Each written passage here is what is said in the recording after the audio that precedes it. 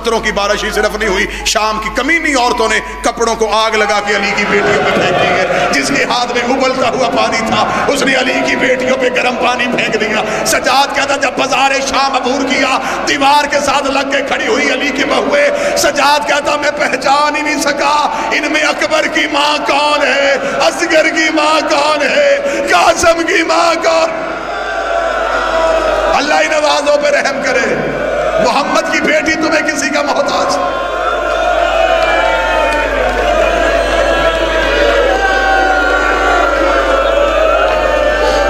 कुछ ना कुछ तो हुआ ना शाम के बाज़ार में जो सजाद का जिगर फट गया।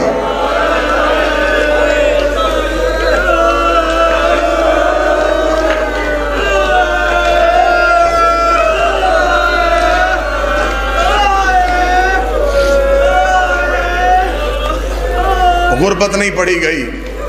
कैसे गुजरी अली की बेटी? रवायत है किताबों की, शाम के बाज़ार में खड़ी थी मेरी हालत या बीबी ने एक छत की तरफ़ देखा।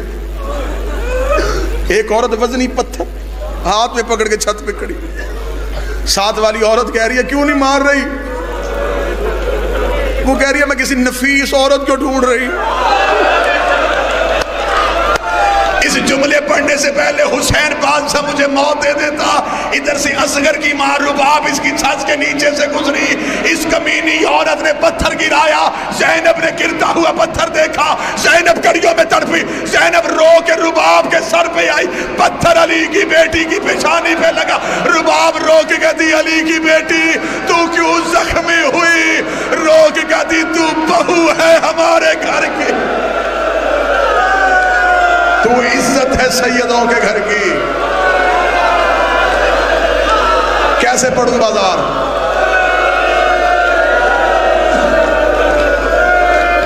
कैसे पढ़ू बाज़ार?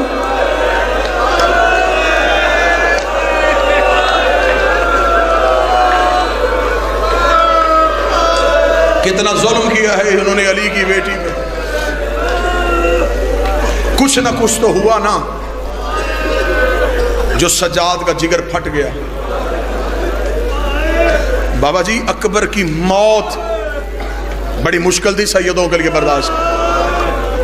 सजाद रोया है लेकिन आँसू। खून नहीं। कासम की लाश गठड़ी में आई। सजाद रोया, खून नहीं। गाजी के बाजू कट गए। सैयदादियों ने पत्थरों का मातम किया। सजाद रोया आँसू, असगर के सूखे हलक पे तीर। सजाद रोया आँसू, हुसैन की तेरह जरबे। सजाद रोया आँसू उमती बेशक मातम करना, सैयद मुझे माफ़ कर देना। पहली बार माँ नंगे सर नमाज़ पढ़ते देखी। सजाद रोया लेकिन आँसू, सगी बहन का चेहरा जख्मी देखा। सजाद रोया लेकिन आँसू कुरान की आयतें रस्सियों में लिपटी। सजाद रोया लेकिन आँसू बाबा जी, कोई खुश आमद नहीं। अजब रूहानियत है मजलिस में। बड़ा प्यार है इस मजमे को मुसाहिब से। सारे मातमी जो आज मैं दर्द के कुरान की एक वो आयत पढ़ने चाहूँ जिस दर्द के कुरान की आयत ने सजाद का जिगर छलनी कर दिया। ए, एक थोड़ा मेरा साथ देना।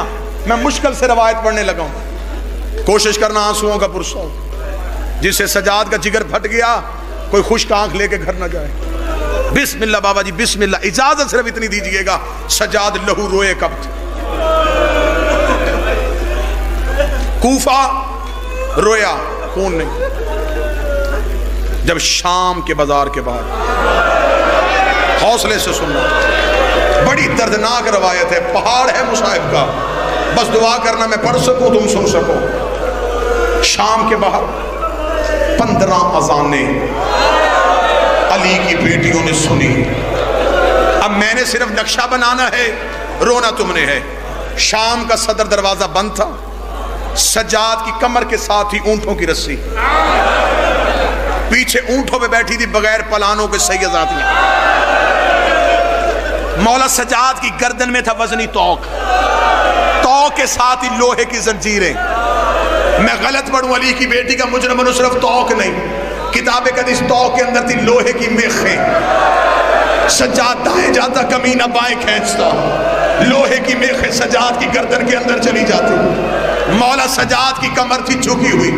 कमर झुकी क्यों थी? जिस रस्सी में बाप कहता उसी में बेटा कहता सजाद की कमर झुकी हुई थी, अब जिस जुमले से सजाद लहू रोया, मैं वो जुमला पढ़ूँगा, जहाँ जहाँ तक बाहर तक आवाज़ जा रही है। मातम की धमक पूरे इलाके में सुननी चाहिए इन्हें पता चले कि इन्होंने सजाद का उजड़ना सुना है। सजाद बाहर खड़ा है शाम के बाज़ार के। या अली की बेटी ने ऊँट से कहा, अम्मा फिजा सजाद से कहे, इससे पूछ हमने कितना खड़ा रहना है? सजाद ने जिस कमीने के हाथ में जंजीर थी, मौला सजाद ने जंजीर हलाई। हला के कहा कमीने हमने कितनी देर खड़े रहना है? ये बेगैरत करीब आया कह का मार के कहता है, कैदी, अभी बाज़ार सज रहे हैं, अभी बदमाश इकट्ठे हो रहे हैं। इतना जुमला कहना था, सजाद बर्दाश्त कर गया। थोड़ी देर के बाद शाम का सदर दरवाज़ा खुला। शाम के दरवाजे का खुलना था। बाकर ने शाम के बाज़ार का मंजर देखा। बाकर की आवाज़ आई बाबा बाबा, रुकू छोड़। शाम का मंजर देख सजाद ने सर उठाया। कमीनों के हाथों में शराब के जाम थे, तबल बज रहे थे, शादियाने बज रहे थे, छतों पे औरतें बैठी हुई थी। अभी सजाद ये मंजर देख रहा था, या एक कमीना कागज़ का टुकड़ा लेके आया। उसमें लिखा था कहती अब तक जैनब ऊँट पे बैठ के आई है, इस बाज़ार में पैदल चले। सीने पे हाथ। कल वो रोएगा तो ज़िंदा रहेगा। जिसका आँसू नहीं आया उसने अपने आप को अमीर समझा है। बहुत दुआ करिएगा मैं रवायत पढ़ सकूँ।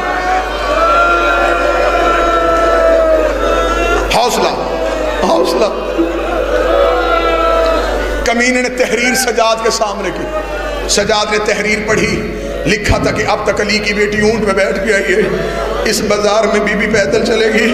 सजाद ने बाज़ार का मंजर देखा। सजाद की आँख में खून का पहला कतरा आया। जैनब ने खून का कतरा देखा। अली की बेटी की आवाज़ आई माँ मर जाए, बता क्यों रो रहा है? सजाद की आवाज़ आई दुआ कर, तेरे सजाद को मौत आ जाए। कहा, मौत ना मांग, मुझे दर्द बता। फरमाया, अम्मा कमीने ने लिख के भेजा है। अब तक ऊँट में बैठ के आई है। इस बाज़ार में पैदल चलेगी। अली की बेटी जलाल में आकर मैं पैदल पैदल चलूँ।